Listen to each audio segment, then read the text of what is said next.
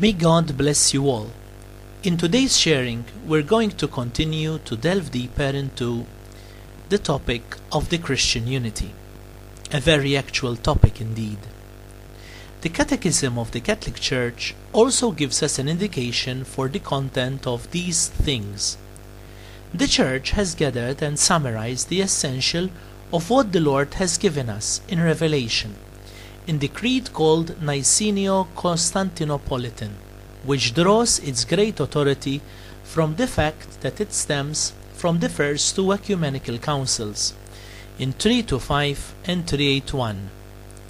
The Catechism specifies that this symbol remains common to all the great churches of both East and West to this day.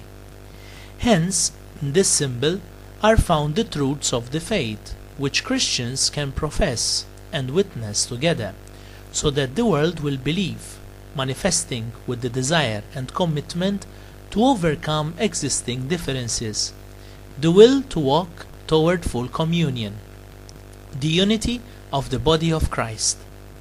The celebration of the week of prayer for Christian unity leads us to consider other important aspects for ecumenism.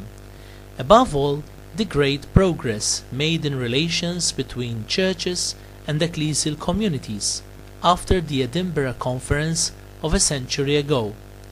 The modern ecumenical movement has developed so significantly that over the last century it has become an important element in the life of the Church, recalling the problem of union among all Christians and also supporting the growth of communion among them. This not only favors fraternal relations between the churches and ecclesial communities in response to the commandment of love, but it also stimulates theological research. Moreover, it involves the concrete life of the churches and of the ecclesial communities with topics that touch upon pastoral care and the sacramental life, as for example, the mutual recognition of baptism, the issues relating to mixed marriages, the partial cases of communicatio in sacris in well-defined particular situations. In the wake of this ecumenical spirit, contacts have spread also to Pentecostal, evangelic, evangelical and charismatic movements for greater reciprocal knowledge, though serious problems are not lacking in this sector. Since Vatican II and thereafter, the Catholic Church has entered into fraternal relations with all the churches of the East and the ecclesial communities of the West, organizing, in particular, with the majority of them, bilateral theological dialogues which have led to the finding of convergences and even consensus on several points, thus deepening the bonds of communion. In the year 2009, these dialogues have achieved positive steps.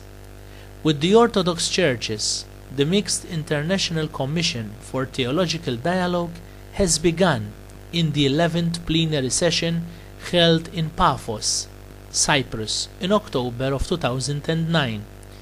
The study of a crucial point, a crucial topic in the dialogue between Catholics and Orthodox, the role of the Bishop of Rome in the communion of the Church in the first millennium, that is to say, at the time in which Christians of the East and West lived in full communion. This study will be extended later to the second millennium. Pope Benedict XVI has already asked Catholics many times for prayer for this delicate and essential dialogue for the whole ecumenical movement. Also, with the ancient Orthodox churches of the East, Coptic, Ethiopian, Syrian, Armenian, the similar mixed commission met from the 26th to the 30th of January of last year. These important initiatives attest that at present there is a profound dialogue, rich in hopes, with all the churches of the East, not in full communion with Rome in their own specificity. Examined during last year with the ecclesial communities of the West, were the results reached in the different dialogues over the past 40 years, reflecting in particular on those held with the Anglican Communion, with the World Lutheran Federation, with the World Alliance of Reformed Churches, and with the World Methodist Council.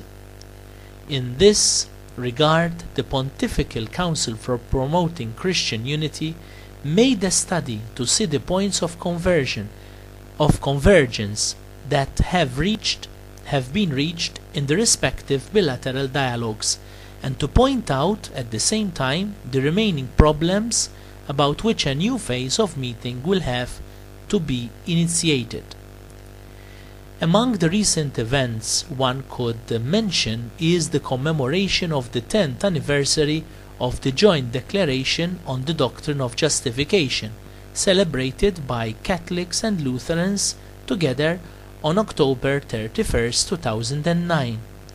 To stimulate the continuation of dialogue, as well as the visit to Rome of the Archbishop of Canterbury, Dr. Rowan Williams, who has also held conversations on the particular situation in which the Anglican Communion finds itself.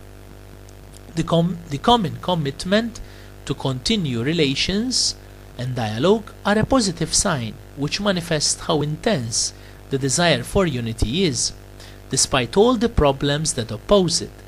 Thus, we see that there is a dimension of our responsibility to do everything possible to really attain unity, but that there is another dimension, that of divine action, because only God can give unity to the Church.